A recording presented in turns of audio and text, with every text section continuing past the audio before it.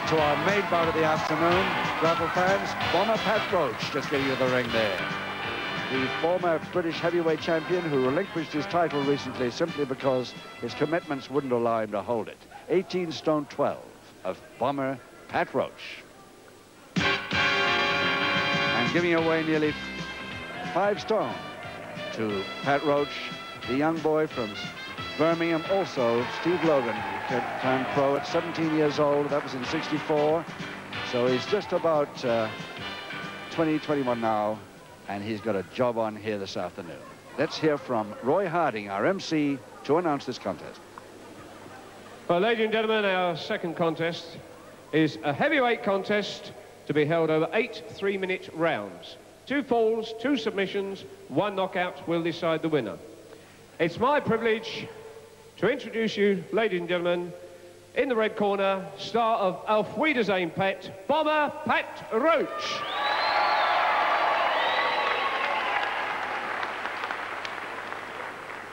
And his opponent, ladies and gentlemen, in the blue corner, please welcome Steve Logan. Thank you, Roy Harding. And Steve Logan there, the good-looking lad, from, also from Birmingham, 14 stone exactly in weight. And his opponent this afternoon, bomber Pat Roach, 18 stone 12. So very nearly five stone difference here, and he got a job on. Dave Reese, the referee. Round one. Round one of eight three-minute rounds. Two falls, two submissions, or a knockout to decide this winner. And Roach in the plain black trunks, the giant bearded wrestler.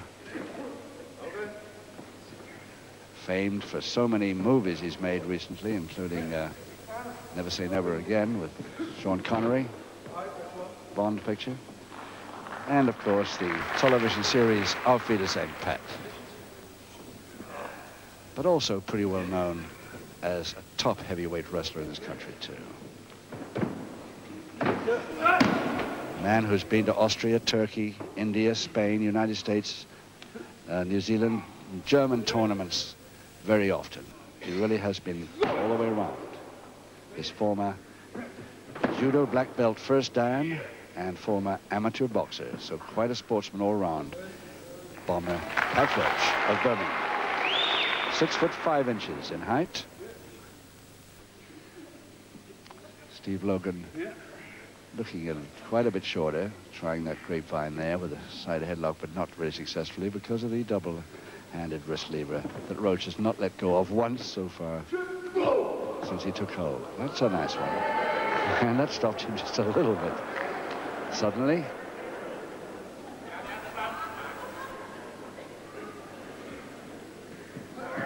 Oh, yes, height. Roach height. Roach looks down at him and says, how do you like that then, son?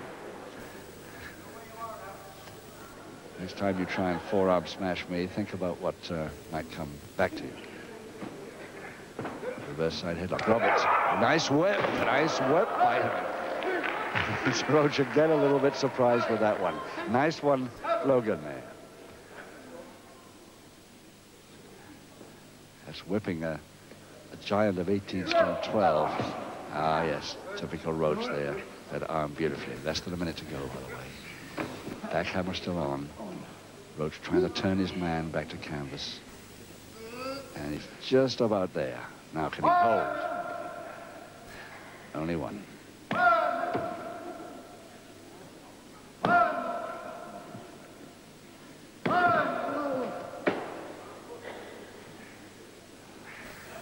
Just under 30 seconds to go in this uh, first round of eight. No, surely. oh, he's very, very nearly. Yes, he's there. Roach let him up the end. Grin on his face as he allows him to get the final distance. Well done. Took him with him on that finger interlock. Had to go. On the bell now, round one.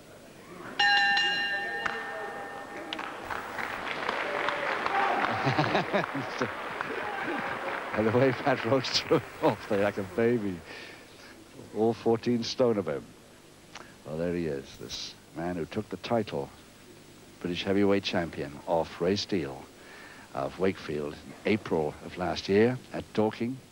We saw that on television then, unfortunately forced to relinquish the title because of his many commitments in the Birmingham area. Seconds away, round two. Round two. But he's still very interested in the in meeting the would-be title holders. And I'd like to see him against the present title holder, the one who uh, got the vacant title. And that, of course, was Gil Singh, Dalbir Singh of uh, India. It'd be interesting to see the former champion versus the present champion. Maybe we'll see that on television one day soon. Meantime, round two, just a question how much. And that's a typical suplex move by Roach, one of his favorite moves. He tried it in the last round and almost came off. This time he made it all the way. But can he hold this boy down?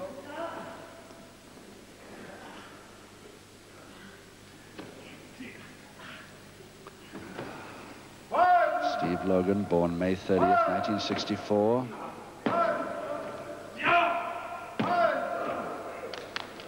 Just coming up, 23.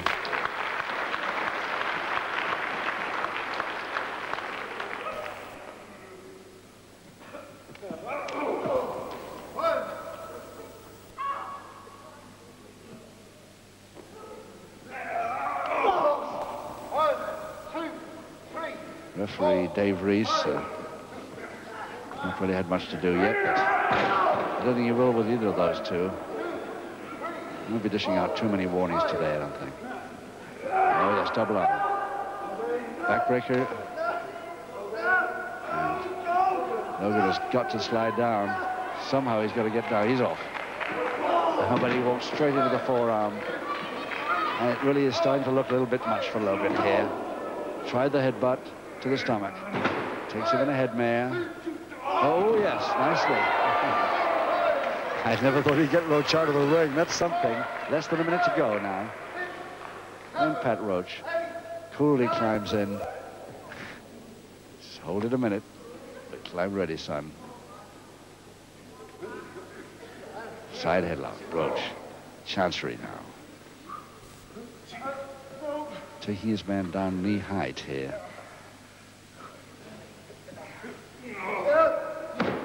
30 seconds to go, round two. And Logan once more in trouble. Headlock and strangle.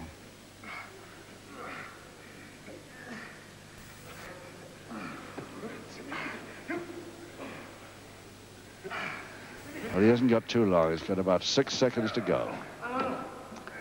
Into a head scissors, but no worry for Logan. The bell will say.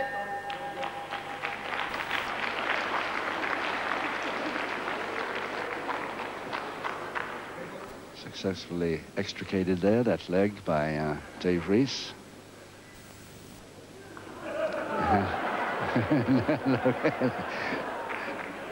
Logan decided not to bother with pulling that man up. Too heavy. So Dave Reese gives him a hand. anyway, he gets his way. Round three coming up. Seconds away, round three. Six to go. No score. Logan's still holding out well, but uh, very near thing for him in that last round.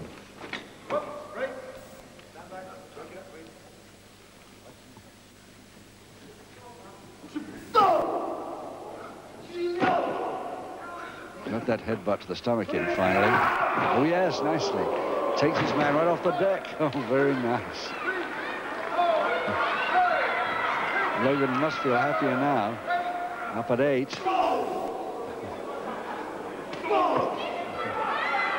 It's just Pat Roach still standing there. Maybe he's going to deliver one. So that's it. Because I've taken three, that's enough.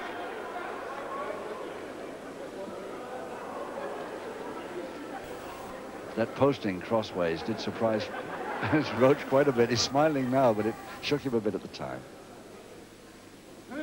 Exactly the right angle on it. Nicely, same that suplex, arm suplex. Roach special. But he hasn't got the shoulder blades down or anything like it yet. Wrist lever.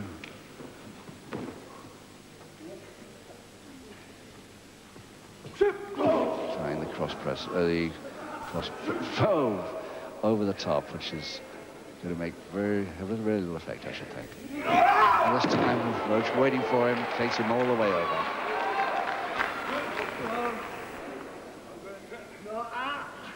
And the arm lever held against the joint by the left knee. So Roach really having it all his own way at the moment. With A few minor exceptions here. He's dictating this contest. And why not? With his five, near five stone weight advantage and his extra experience as well. Roach has been a pro wrestler since the 70s, since the 70s. And uh, his opponent, Steve Logan, turned pro May 1980.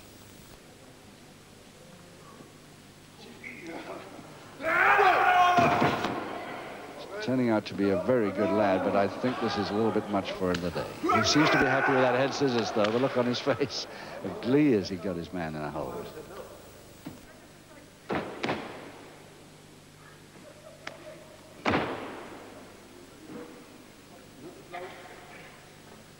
There's the Roach going quite happily into a bridge, wrestler's bridge there with just exactly five seconds to go.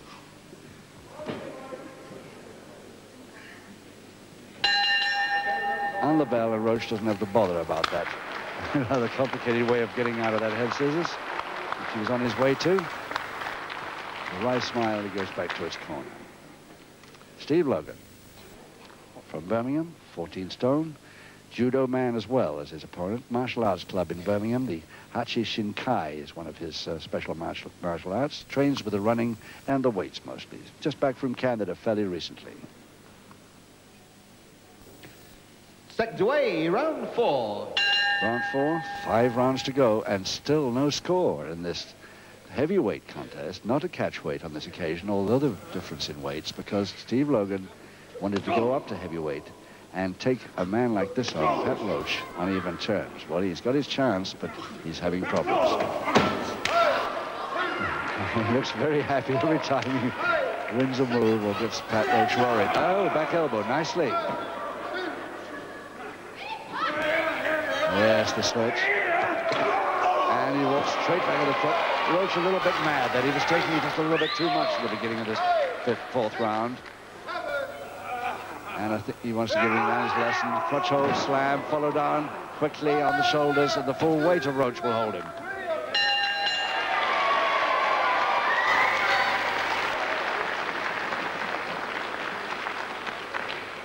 Forty-eight seconds of round four. The first fall, Pat Roach, just by holding the shoulder blades down with his own weight on the hands there. Well, ladies and gentlemen, in round four, 48 seconds of round four, first pinfall of the contest to Bomber Pat Roach. Well, naturally expected.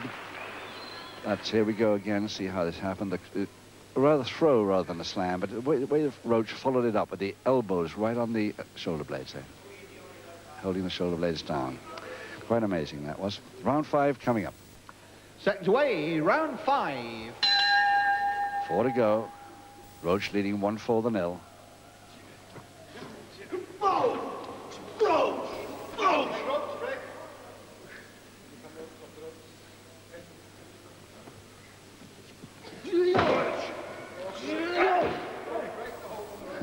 Roach taking very little notice of this, just looking rather amazed. Dave Reese from Shrewsbury. Oh, yes. Referee from Shrewsbury here. And this looks like a possible... Oh, thrown off again so easily. he just hadn't got the weight to hold this big man down, of course. Still a good try. Good try.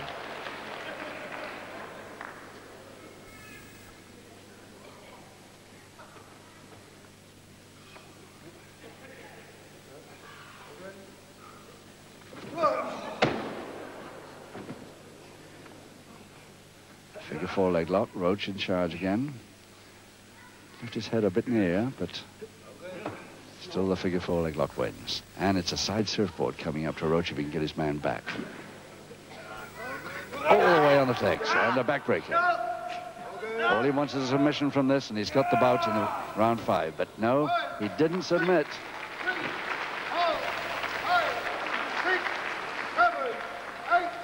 applause from the crowd here at the Hereford Leisure Centre, congratulating him on not submitting from there.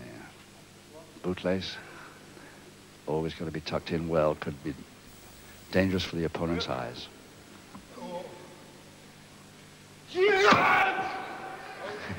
so Roach looks up in surprise when this the lad comes in.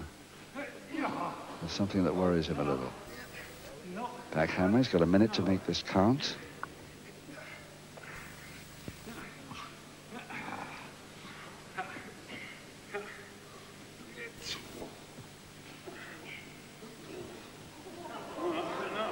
Yes. I blame uh, Steve Logan for keeping his head out of the way then. Ideas of a back elbow from Roach.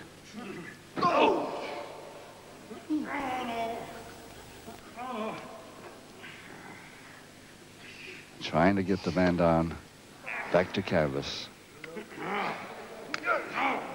He's got just about 15 seconds to do it in. And thrown off so easily. A 14 stone goes through the air from this big man here. Right on the bell, round five.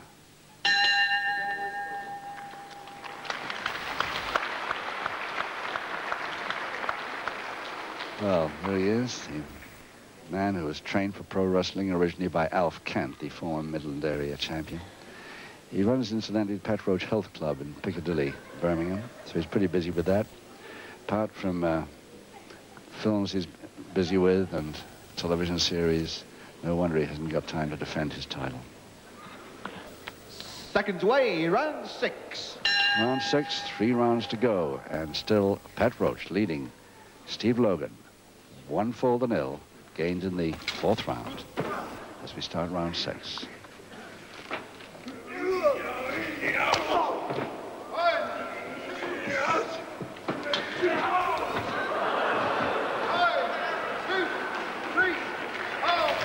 Reese, all he's done so far, he hasn't needed a warning of any kind yet. All he's done is count.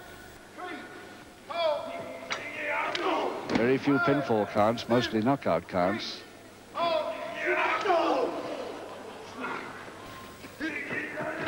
Oh, missed it by a mile. Roach saw it coming and a bad landing by Logan. Oh, he landed really badly on his back. And Reese, the publican come referee, busy most of the time with the his pub at Oswestry, known as the Crown, where he's a tenant, is now taking time out to referee.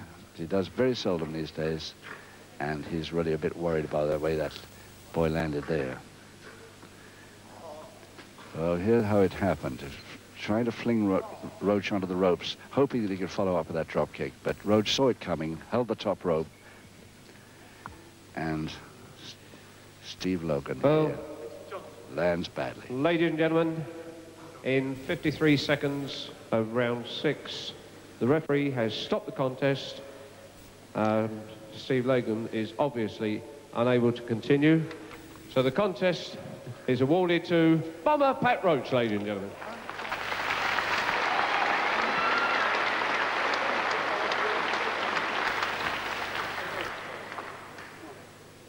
Ladies and gentlemen, you can all see that Logan's in rather a lot of trouble. Uh, and I suppose at about this stage, the opposing wrestler usually says he refuses to take the contest because of the bad injury. But I feel that I've had a hard match today, and I feel that I should in fact take the victory. And perhaps in losing, it may well endorse him learning a lesson rather than not losing the match. So in fact, I will take the match. I won't give in. I'll take it. So, why shouldn't he? He won it fairly and squarely, just because the guy was uh, very much lighter than him. Anyway, that's it. A win for Roach by technical knockout in round six after leading by one fall. It's time now to say goodbye from all of us here at Hereford. We hope you've enjoyed it. But next